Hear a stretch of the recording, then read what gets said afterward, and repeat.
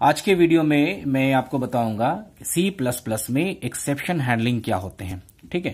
तो exception handling के को समझने के पहले पहले आप जाने एरर्स क्या होते हैं। देखें प्रोग्रामिंग करते हैं अगर आप तो वहाँ पे एरर्स का होना या एरर का जनरेट होना, ये आम बात है।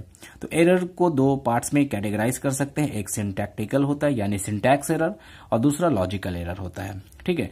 तो अगर आप कंपाइल करते हैं और उसमें अगर कुछ एरर्स जनरेट होते हैं, जैसे सेमी सेमीकोलोन है सेमी सेमीकोलोन का छोड़ जाना कॉमा का छोड़ जाना स्पेलिंग मिस्टेक है वगैरह तो ये सब सिंटैक्स एरर है या फिर सिंटैक्टिकल एरर है। लेकिन अगर अगर आपका कोई सिंटैक्स एरर नहीं है, आपने प्रोग्राम रन किया, लेकिन आउटपुट जो है आपका अकॉर्डिंग टू आउटपुट जो आप चाहते हैं वो नहीं आ रहा है दैट मीन्स आपका कहीं ना कहीं लॉजिकली जो है एरर्स है। तो इस तरीके के एरर्स को हम लोग जनरली रिमूव कर लेते हैं और दूर करते हैं। लेकिन समटाइम्स होता है क्या, कुछ ऐसे केसेस होते हैं, कुछ ऐसे एबनॉर्मल केसेस होते हैं रन टाइम में। रन टाइम में ऐसे केसेस या ऐसे एरर्स जनरेट होते हैं जिसको हम एक्सेप्शन कहते हैं। ठीक है? तो अब ये जो है, एक चीज़ ध्यान देना है कि मान लें अगर आपने सॉफ्टवेयर डेवलप कर लिया सॉफ्टवेयर को आपने बना लिया और उसके बाद आपने डिप्लॉयमेंट भी कर लिया उसका, लेकिन उसके बाद भी अगर एरर जनरेट होता है तो हमें करना क्या है कि वैसे एरर्स को हमें मैनेज करना है। वैसे एरर्स को हमें क्या करना है? मैनेज करना है, यानी कि हमें हैंडल करना है। ठीक है ना? तो वैसे एरर्स को अगर हम हैंडल कर लेते हैं तो उसको हम कहते हैं एक्सेप्शन एक्सेप्शन हैंडलिंग कहते हैं, ठीक है? तो एक्सेप्शन हैंडलिंग जो है, ये सी प्लस प्लस का एक बहुत ही ग्रेट फीचर है, जो प्रोग्रामर को ये फैसिलिटी प्रोवाइड करती है कि आपका जो प्रोग्राम है, ये जो सॉफ्टवेयर है, जिस सी प्लस प्लस में बनाया गया, वो स्मूथली चले बिना एरर्स की वजह से बिना स्टॉप किए बिना रुके।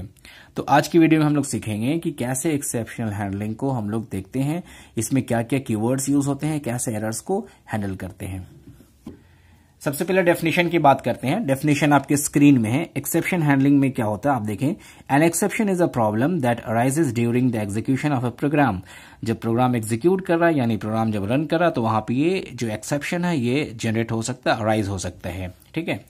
उसके बाद देखें exception provide provide a way to transfer control from one part of a program to another यानी अगर एक्सेप्शन जनरेट हो जाता है एरर जनरेट होते हैं तो उसकी वजह से प्रोग्राम को नहीं रुकना चाहिए बल्कि कंट्रोल जो है दूसरे पार्ट में चला जाना चाहिए और फिर एरर्स जो है वहाँ पे इजीली हैंडल हो जाना चाहिए। ठीक है? इस फीचर्स uh, के माध्यम से। और तीसरा जो देखें आप सबसे आखिर में it is a process to handle run time errors यानी एक्सेप्शन हैंडलिंग क्या है? एक प्रोसेस एक मैकेनिज्म है एक टेक्निक है एक तरीका है। जो क्या करता है? To handle run time errors जो रन टाइम में जो एरर आ रहे हैं, उसको हैंडल हैंडल करने के लिए। We perform exception handling so the normal flow of the application can be maintain even after run time errors यानी हम लोग एक्सेप्शन हैंडलिंग को परफॉर्म करते हैं ताकि normal flow of the application यानी जो एप्लीकेशन मूव हो रहा है एप्लीकेशन चला, उसमें कोई भी तरह का प्रॉब्लम कोई भी तरह का समस्या नहीं आए। अगर एरर जनरेट होता है तो भी। ठीक है? इसके पहले आपने पढ़ा होगा कि अगर एरर आता है तो आपका प्रोग्राम रन नहीं करता। लेकिन रन टाइम में इनकेस कोई ऐसे एक्सेप्शन आ जाते हैं जिसको, जिसकी वजह से प्रोग्राम नहीं रुकना चाहिए। तो उसके लिए हम क्या करते हैं? एक्सेप्शन हैंडलिंग मैकेनिज्म को अप्लाई करते हैं अपने प्रोग्रामिंग में। तो ये होगी बेसिक डेफिनेशन अब इसकी कुछ, जो है कीवर्ड देखते हैं कि एक्सेप्शन हैंडलिंग में कौन कौन से कीवर्ड यूज़ होते हैं।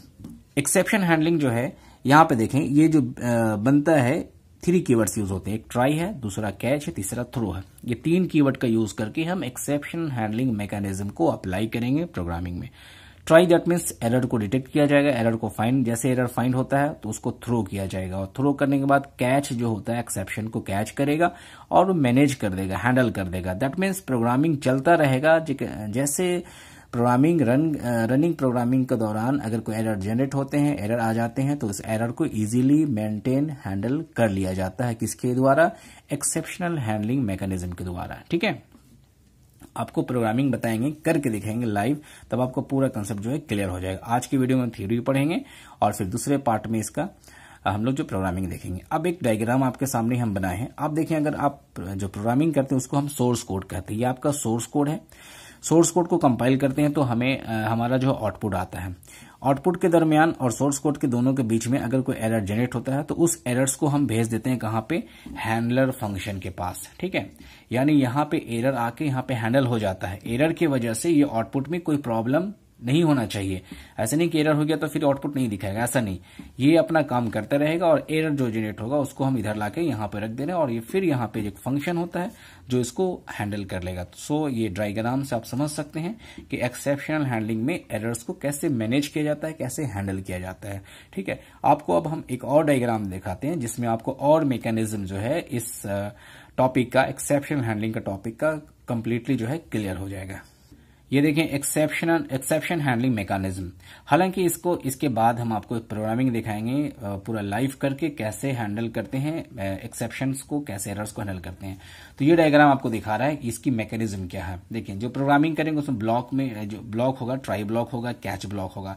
तो ट्राई ब्लॉक में हम जो स्टेटमेंट्स लिखेंगे, जिससे हमें जो भी एरर्स होगा, वो क्या होगा, उससे हमें मालूम चलेगा। उसके बाद थ्रो ऑब्जेक्ट के थ्रू हम क्या करेंगे? एक्सेप्शन को थ्रो कर देंगे। और यहाँ पे जो कैच ब्लॉक होगा, ये एरर्स को यहाँ पे रिसीव करेगा।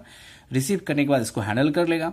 ठीक है? और फिर आउटपुट वाला प्रोग्राम जो वो इजीली चलता रहे। तो इसको हमें क्या कहते हैं? इसको हम ट्राई ब्लॉक को हम क्या कहेंगे? एक्सेप्शन ऑब्जेक्ट क्रिएटर यहाँ पे एक्सेप्शन क्रिएट होगा। एक्सेप्शन का मतलब ही क्या होता है? रन टाइम जो एबनॉर्मल इश्यूज़ होते हैं, यानी रन टाइम जो एरर्स होते हैं, उसको हम एक्सेप्शन ऑब्जेक्ट क्रिएटर कहते हैं, ठीक है? तो ये ट्राई ब्लॉक में यहाँ सारी चीज़ जो भी क्रिएट होंगी, जो भी एरर्स होगा, उसके बाद हम यहाँ आ जाएँगे। अगर कोई एरर्स होगा तो यहाँ से थ्रो होगा।